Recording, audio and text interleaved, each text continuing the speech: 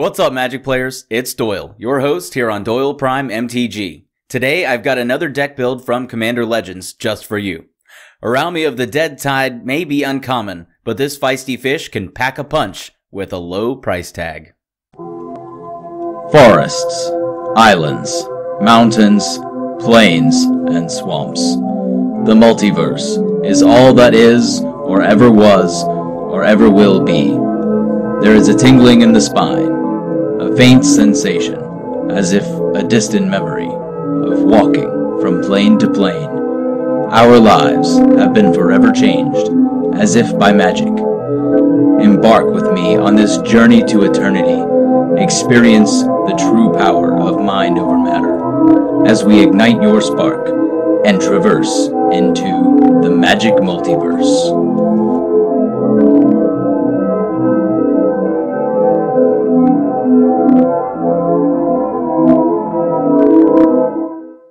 This deck list is easily made for $150 in value if you buy everything from scratch. However, this list does include a $150 land base also. That being said, it would be easy to run this commander on a budget, so I did include some of those budget replacement options in the maybe board, as well as one card that was just too expensive for me to even consider for this list. Araumi of the Dead Tide costs 1 black blue for a 1-4 Merfolk Wizard with Tap. Exile cards from your graveyard equal to the number of opponents you have. Target creature in your graveyard gains Encore. The Encore cost is equal to its mana cost. This means that when we activate that Encore ability, we'll exile the creature card from our graveyard to create a token copy of it for each opponent that we have. Those tokens gain haste, each must attack a different opponent, and we must sacrifice them at the beginning of the next end step. The goal of this deck is to fill our graveyard and use Araumi to encore multiple creatures, creating big board states, massive card advantage, or even an endgame. Of course, we will again build in the order that we play the game. Ramp, draw, control, and finish. Let us begin with the evergreen ramp that we don't need our commander in play to use. First up is a Soul Ring, which costs 1 and taps for 2. Next up, we have an Arcane Signet, which costs 2 and taps for either of our colors. Dimir Signet costs 2 and nets us 1 mana, and helps us fix our colors. Fractured Powerstone costs 2 and taps for a colorless. Talisman of Dominance costs 2 and can tap for either of our colors. Next, we have a couple of creatures that ramp us and feed us fuel, with Millikin and Deranged Assistant. Each of these costs 2 total mana and taps for a colorless while milling us a card. Also, we have a bit of land ramp with Wayfarer's Bauble, which costs 1, but we can pay 2 tap and sack it to tutor a basic land to the field tapped and also Solemn Simulacrum, which costs 4 for a creature that enters the battlefield to allow us to tutor a basic land to our field tapped, and also draws us a card when it dies. We also have some conditional ramps, starting with Ashnod's Altar, which costs 3, but allows us to sacrifice a creature for 2 colorless mana. Embalmer's Tools cost 2 mana and will make our embalm abilities cheaper, saving us mana in the long run. Nykthos, Shrine to Nyx, also helps us ramp in a legendary way. As long as we have devotion of 4 or more to a color, this will provide us with loads of extra mana. Priest of Gix doesn't ramp us on its own, but when used as an encore ability, it can generate black black black for each opponent that we control, helping ramp us to cast multiple encore abilities within a single turn. Pitiless Plunderer costs 3 and a black for a creature that makes treasure tokens whenever one of our creatures dies. Cloud of Fairies costs 1 and a blue for a creature that untaps up to 2 lands on entering the battlefield. Peregrine Drake also helps us in a similar way, since when it enters the battlefield, it untaps up to 5 target lands. If we have lands to tap for multiple mana, and or we encore this with Araumi, it can generate us loads and loads of mana. And last but not least, we have a ritual with Songs of the Damned. Costing a black, it gives us a black for each creature card in our graveyard. Next up, let's take a look at some evergreen card draw, keeping our hand full of opportunities. Starting with Old Reliable, Skullclamp costs 1 for an equipment that has when a equipped creature dies, draw 2 cards, and equip 1. Floating Dream Zubera costs 1 and a blue for a creature that will draw us a card when it dies for each Zubera that died this turn. Undead Augur costs black black for a zombie that will draw us a card and cause us to lose a life for each time it or another zombie died. Each of these will cantrip on a sacrifice, but when using Me's Encore ability, they will each draw us 9 cards when we sacrifice the tokens at our end step. We'll see a lot of this type of interaction. Watcher for Tomorrow costs 1 and a blue for a creature that ETBs to hide away one of the top 4 cards of our library, and we get that card in our hand should the creature leave the battlefield. Trophy Mage costs 2 and a blue for a creature that ETBs to tutor for an artifact with CMC equal to 2. Impaler Shrike costs 2 blue blue for a flying creature that we can sacrifice to draw 3 cards if it dealt combat damage to an opponent. Mulldrifter costs 3 blue blue for a creature that ETBs to draw us 2 cards, or we can evoke it for 2 and a blue. Fact or Fiction draws us cards and dumps cards into our graveyard for 3 and a blue. We also have the chance to net draw cards with Windfall for 2 and a blue. Moving forward, since we have direct access to creature cards in our graveyard and we need to exile cards from the yard to encore them, Self Mill is going to act kind of as both ramp and card draw in its own way. So let's take a look at the cards that mill us and let us loot, generating us card selection and gas for later explosiveness. First up, we have a Hedron Crab. For blue, it lets us mill 3 on a landfall trigger. We don't use the other crab because it doesn't let us mill ourselves. Next up, we have Stitcher's Supplier. For black, it mills us 3 on both an ETB trigger and a Dies trigger, performing exceptionally well in an Encore. Viscera Seer is going to give us a free sack outlet and let us scry to keep the top of our deck primed for whatever situation we are in. Halimar Excavator is a great encore target. If we have the usual three opponents, this can slam 27 cards into our graveyard for later encore activations. Merfolk Looter costs 1 and a blue for a creature that taps to let us draw a card and discard a card.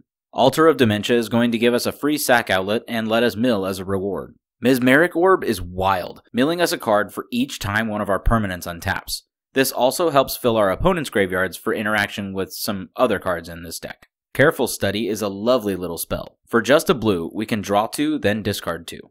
Frantic Search will do the same for two and a blue, but it will also untap up to three target lands. Search for Azcanta costs one and a blue for an enchantment that helps fill our graveyard and flips to a land when our yard is big enough. Court of Cunning helps mill ourselves as well as introduces the Monarch mechanic to the game. Finally, Monastery Siege will let us loot at our draw step in addition to our usual draw. For our control section, let's begin with controlling our board. Tortured Existence is an enchantment for a black mana that lets us pay one black to swap a creature in our hand for one in our graveyard. Buried Alive lets us tutor three creatures and place them directly into our graveyard for later encore. Dread Return also helps us gain card advantage by returning a creature from our grave to the battlefield. We can also sack three creatures for its flashback cost. Victimize lets us sacrifice one creature to bring back two from the grave in its place. Carrion Feeder is a cheap and efficient sack outlet for dumping creatures from our field into our yard. Academy Ruins is a land that lets us put artifact cards from our grave back on top of our library. Castle Vantress and Castle Locthwain each help us select and draw cards, keeping our game plan in motion. Next up, we have some cards that will help us untap Araumi with Aphetto Alchemist, Corridor Monitor, Vizier of Tumbling Sands, Magewright's Stone, and Thousand Year Elixir. The elixir will also let Araumi be activated as though she has haste. These cards will allow us to activate Araumi multiple times in a single turn, causing catastrophic calamity. If it is in your budget, Minamo School at Water's Edge is a great way to untap Araumi, but it is not entirely necessary. Also, we are going to include a couple of 2 CMC cards that will allow us to keep the creature tokens that we generate if we so choose, with Sundial of the Infinite and Teferi's Veil. Sundial lets us end our turn at instant speed, causing us to not be required to sacrifice those tokens at the end step. And the Veil allows our creatures to phase out at the end of combat should they survive. This means that they will not technically exist until our next untap step. To control our opponent's boards, let's start off with Burglar Rat, which costs one and a black for a creature that ETBs to cause each opponent to discard a card. Remember, with Encore, that's three rats and three discards from each opponent. Arcane Denial is a fancy little counterspell that cantrips and works very well with our tempo. Next up, we have four creatures that will each cause a player to make a sacrifice, with Demon's Disciple, Fleshbag Marauder, Merciless Executioner, and Plague Crafter. Vindictive Lich is similarly devastating. Most of the time, we want to encore this, especially if we have three or more opponents. We can just dole out these punishments to our heart's content. Finally, for control, let's take a little more literal interpretation with Keiga the Tide Star. When she dies, we gain control of a creature an opponent controls. So let's freshen her up for her encore. Finally, we have a few ways to close out the game. To kick this off, let's go big with Sepulchral Primordial. On ETB, it gives us a creature from each opponent's graveyards. But with the Encore, we get three creatures from each of our opponent's graveyards. Reef Worm doesn't look big, but on an Encore, we get three copies of a worm that replaces itself with a bigger creature each time it dies, until it becomes a 9-9 Kraken. These things can surely be a threat. Next up, we have two ally creatures that will deal some real damage, with Kalastria Healer and Zulaport Cutthroat. Each of these creatures, when encored, would drain each opponent for 9 life, and we will gain that much life. Though, if we were to encore them together, each opponent could lose up to 36 life while we gain 36. Similarly, we can include Syr Konrad the Grim, who pings each opponent for one each time any creature dies, or is milled into the graveyard, or is removed from our graveyard. Clearly, this will be a bomb in this deck, as these are all things that we're constantly doing. The best way to encore twice is through Illusionist's Bracers, an equipment that costs 2 and has equipped 3, and whenever an activated ability of equipped creature is activated, if it isn't a mana ability, copy that ability and you may choose new targets for the copy. This allows us to get twice the encore targets with just a single activation. Another big bomb in this deck is Massacre Wurm, for 3 black black black, not only does this give all of our opponent's creatures minus 2 minus 2 until end of turn, but it also causes all of our opponents to lose 2 life for each creature they control when it dies. On an Encore, that's minus 6 minus 6 to our opponent's fields, and 6 life for each creature that dies. And last, but most certainly not least, in fact, the biggest of bombs in this deck, we have Gary. Yes, Gray, Merchant of Asphodel, is fierce in this deck. At its base, with just Araumi on the board, we can encore this bad boy, giving us usually three copies of itself. In this particular case, that would be 7 Devotion to Black, causing each opponent to lose 21 life while we gain 63 life. I don't even want to do the math for when we also encore a Massacre Wurm earlier in the same turn. This can all be done with basic lands. But for consistency, it is helpful to include the following utility lands. Glasspool Mimic can be played as a clone if we have enough lands. Barren Moor and Lonely Sandbar help to fill our graveyard with a cycling ability. You can also, budget permitting, include a Phyrexian Tower to take advantage of our doomed Encore tokens. The rest of the lands are basic lands and some color fixing lands, whichever fit into your budget. Of course, I have included the ones that I use in the deck list in the description. And that about wraps it up for this deck tech. I hope you enjoyed the video. You'll find the link to the full deck list on archidekt.com in the description, complete with a maybe board. Let me know in the comments below if you would take this deck in a different direction, or if there are any key includes that I missed. Cheers, and happy casting.